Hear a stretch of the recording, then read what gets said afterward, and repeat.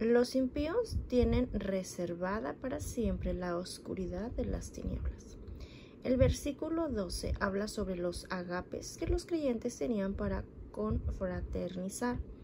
Eran reuniones de comunión donde generalmente había una cena familiar entre los hermanos.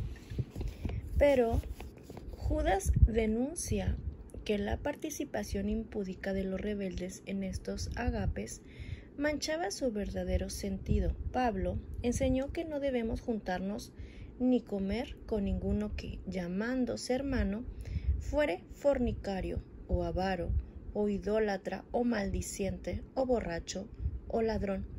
Primera de Corintios 5:11. Judas usa algunas metáforas sobre la condición pecaminosa de los reincidentes. Primero los llama nubes sin agua, Ello indica que estaban vacíos en su interior y eran fácilmente movibles de su posición. Cada creyente debe estar firme en su fe, arraigado y sobreedificado en Cristo. Colosenses 2.7.